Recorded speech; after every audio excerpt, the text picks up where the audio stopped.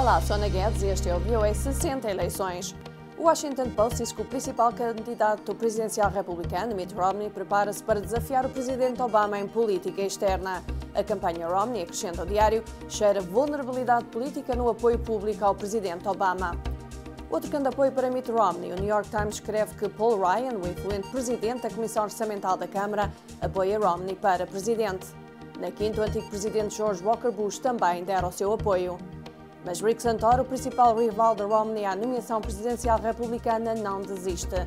Em campanha na Califórnia, diz o Los Angeles Times, Santoro apelou aos conservadores a prestarem a ser pressionados não esqueçam os seus princípios.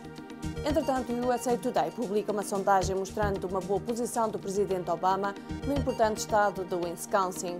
Obama lidera Romney 52 contra 35%, sobretudo entre as mulheres. E é tudo por hoje. Até à próxima edição do VOA 60 Eleições.